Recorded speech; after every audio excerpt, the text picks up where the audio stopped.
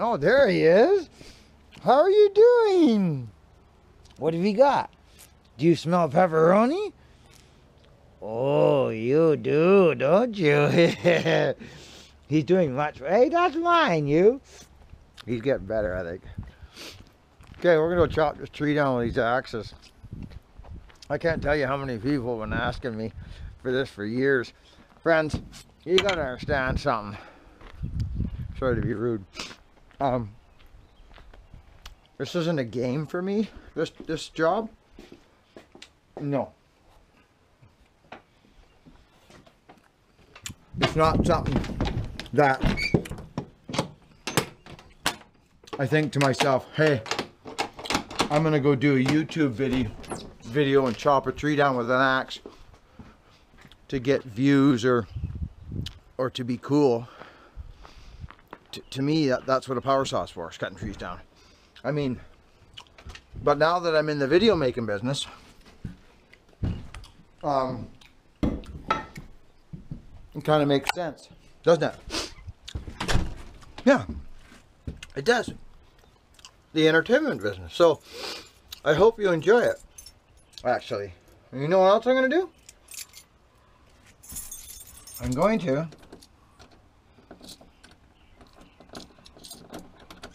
No, maybe I won't. I was thinking about bringing this thing. I made this axe recently. Hmm. Oh, I'll leave it.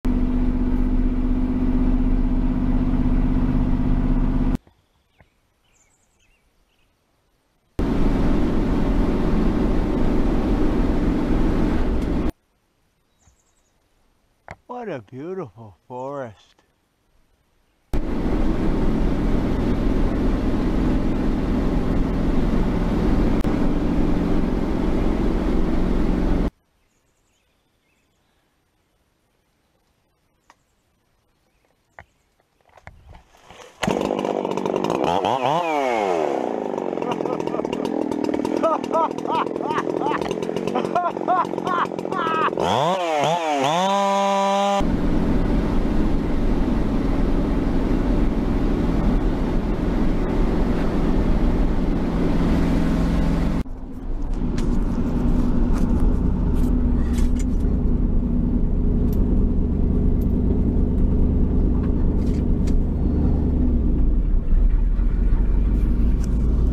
Coming up on the right, there's an old growth tree that's got root rot terribly, but it's still old growth and it's still beautiful.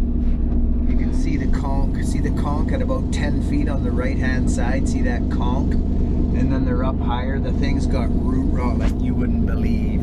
Like it's rotten inside, right? But the thing is still majestic as all beat all, and it's just gorgeous. It's got foliage like crazy in it.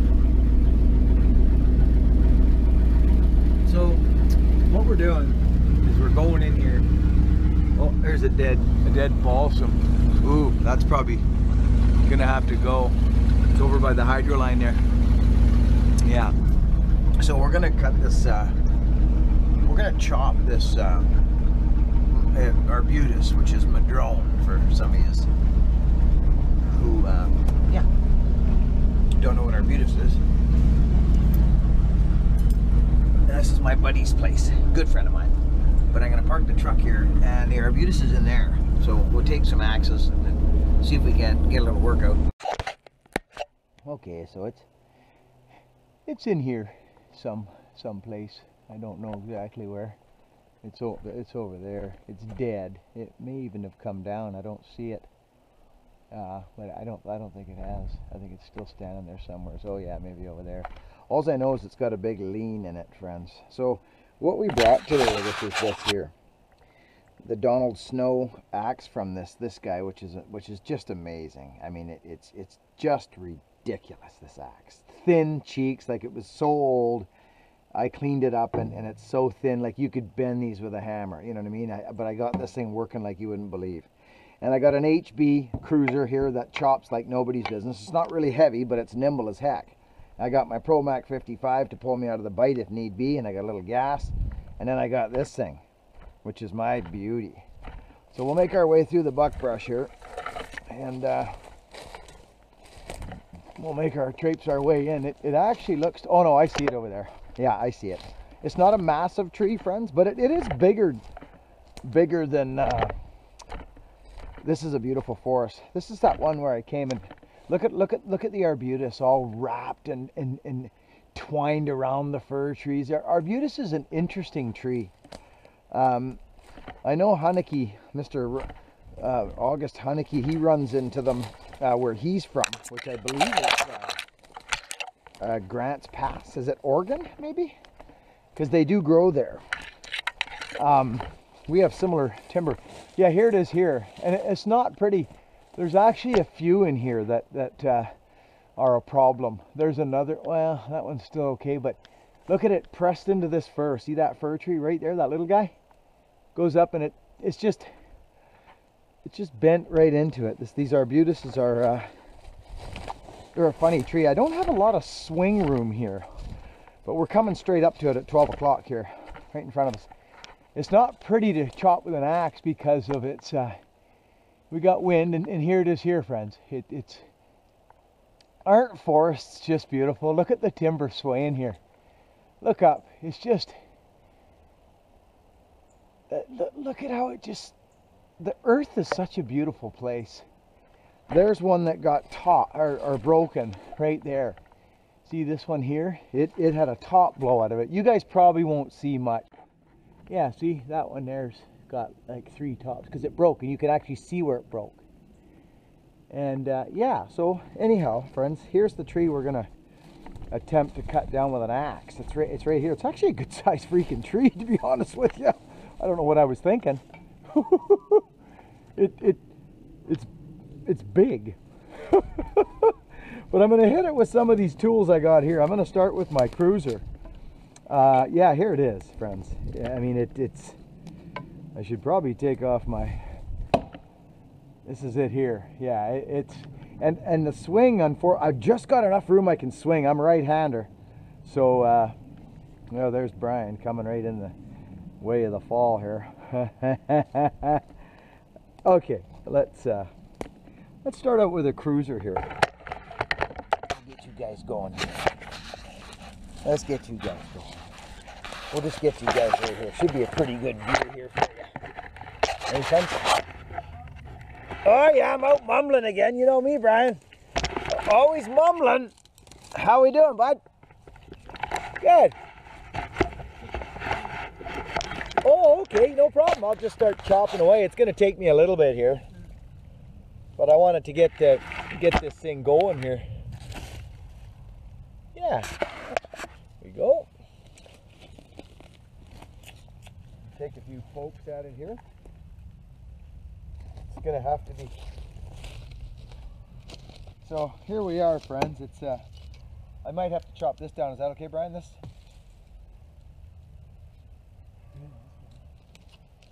So here's our here's our tree. She's got a pretty good lean. But but this yeah, right in the hole there, bro. It's it's here. I'm gonna I'm gonna I got a few axes. I'm gonna swing around here and just just play around, see what we can. Okay. Okay, well I'll leave you to it. Yeah, I'm just gonna start chopping, Brian. I'll let you know when I'm done. You'll hear it probably. Yeah, don't uh, don't leave without seeing me. No, I'll I'll let you know before I go. So, so here this thing is, friends. It's not, uh, you know, this gives you an idea. The rest of the timber gives you an idea of the lean it's on. It's, it's here. I'm gonna, I'm gonna. I got a few axes. I'm gonna swing around here and just, just play around, and see what we can get at here. It's a big, pretty big girth on it, so I'm gonna start chopping. I'm just gonna start chopping, but she's leaning like mad. I was hoping to actually chop it, a huge undercut in it, like a massive undercut and um, you know what I mean? Just just a great big huge undercut, and uh, and see how we do with that, right?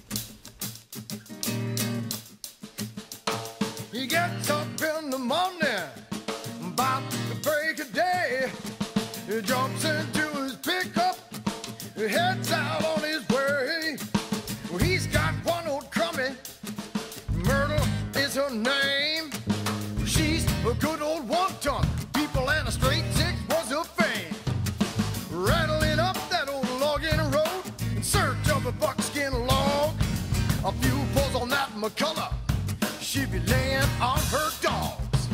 He's a woodman. He's a woodman. Stirs his coffee with his thumb. Uh, he's a woodman. He's a woodman. Uses logs to wipe his bum. He's a woodman. He's a woodman. Smells like sap and gasoline. He's a woodman. He's a woodman. Do it. Oh, Donald Smozak is right.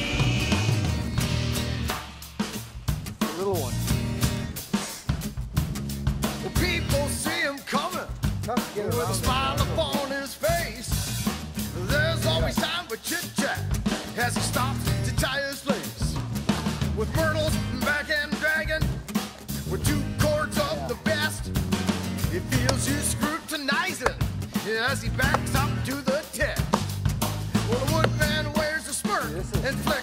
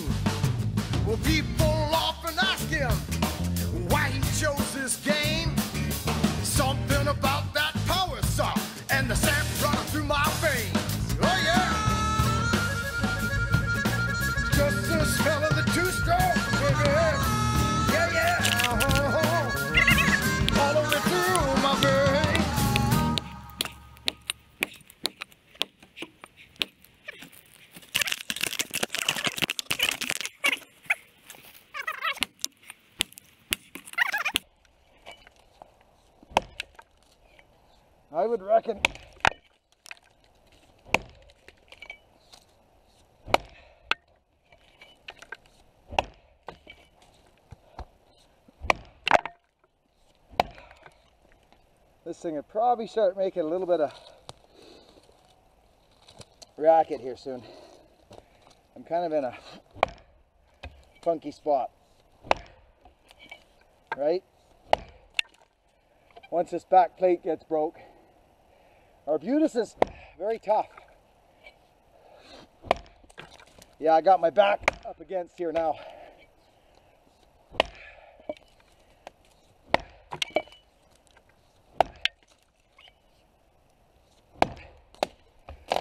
She goes.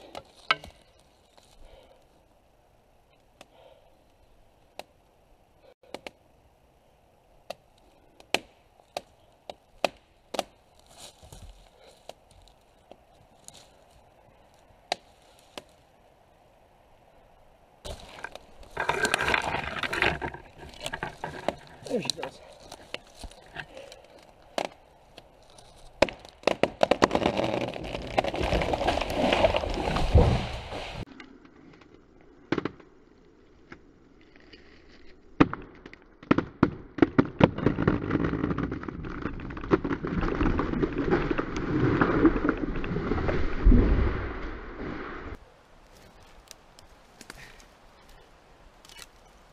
There she goes.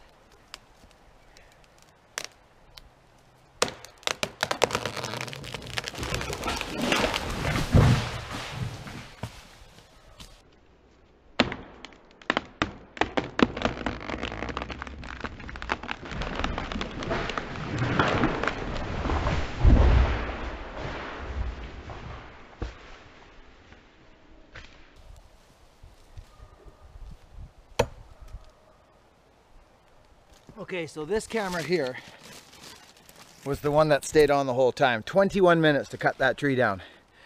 Actually, no, that's not true. The camera was running for three or four minutes. It was this 15, 15, 16 minute job.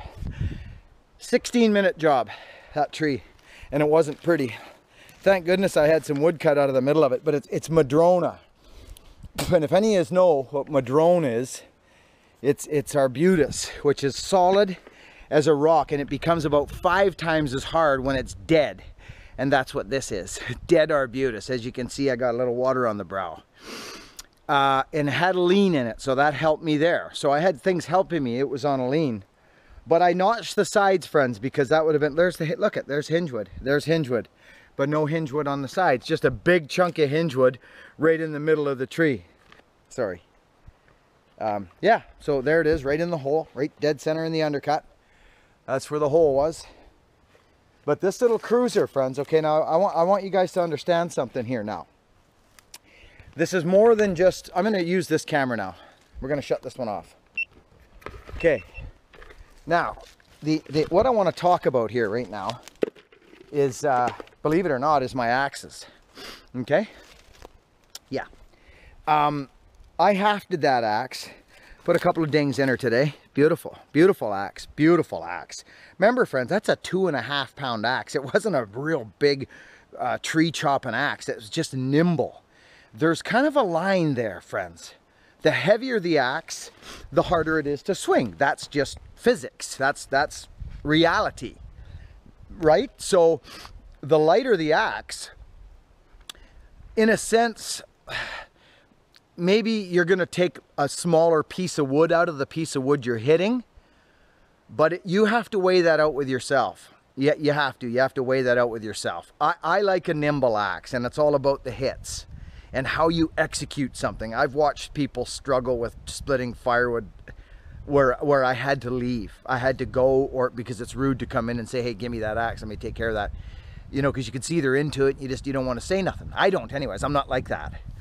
Um, so, excuse me. Um, so so so you have to ask yourself what's most important for you. Personally friends that that okay now what i want to talk about is the fitmanship on on this axe okay? I, I want you to see something. You you see what's going on there? there there it is. There's no steel wedges in this axe. Friends i just kicked the living poop out of this axe it's been sitting in my shop it's dead dry look at it friends look at there's no steel wedges in it it hasn't budged it has not budged. This was that hickory handle that I was making for Al. Remember Logger Al and the handle broke? There was a, there was, and but I salvaged out a smaller piece of it to make this little thing. It was, it's a beautiful piece of wood. I mean, beautiful. You can feel it in the swing. This is a gorgeous, gorgeous axe. It's a two and a half pound HB cruiser axe on about a 31 inch handle. So it's on a longer handle than a normal uh, cruiser would be on. Correct. So and the other axe I was swinging, which I found quite amazing, is Donald Snow's axe. I don't even know how to pronounce the guy's name. It's this guy here. Uh, is it is it um, st uh, Stoller, S Stoker or Stoller, J J S Stoller maybe or. But this axe is probably from the early 1900s, maybe if not late 18. Friends, it is a beautiful axe. I'm going to show you a couple things with it right now. And I didn't even, did I use my big, no, I didn't use my big, big splitting axe. Or, or maybe I did, I forget. You guys would know better than I did. So here's the three axes, but I don't think I used the big one. I forget if I did or not. I may have actually. But I want to show you something. Okay, I want to show you something right here, right now. Now this little axe that uh, Don Snow gave me, we're to do a little, little test here. I want to show you guys. But look at that stump. right? Okay. You know, big undercut, notch the sides, and hit it in the back. Let her go. Okay. Okay, friends. Here, let's, uh, I just want to show you guys a little something here. Um, I don't know what's going to happen here, if you guys are going to fall down or what's going to happen. So here's our cruiser. I'm going to show you a couple pieces we took out of here. And this big axe. So here's Donnie Snow's little axe, and I think we, this thing is nuts, friends. It, it is, it's crazy. It really is. It just, I don't know what it is, but man. So there's,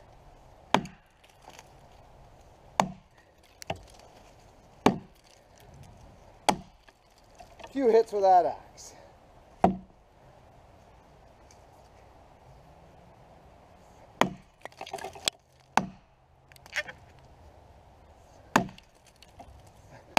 See, the longer handle's nice.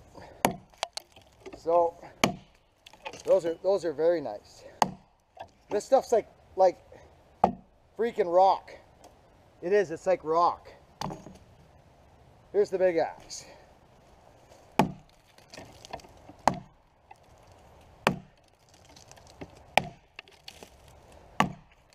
And it's not as not as nimble. But it's heavier. So it's harder to, to lift and get up over your shoulder, but it'll chunk wood, right? Okay.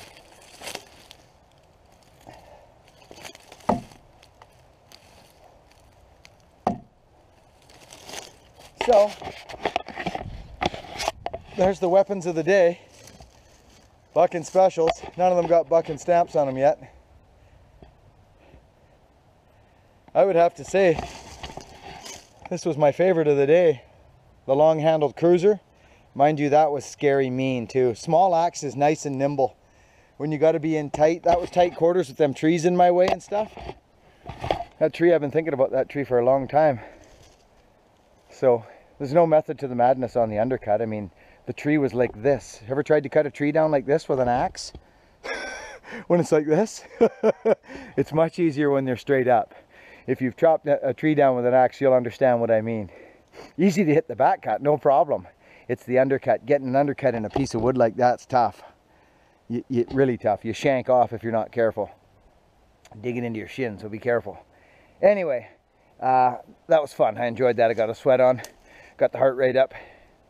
Looking forward to doing some more of that this summer. Over and out, friends. Thanks for joining me.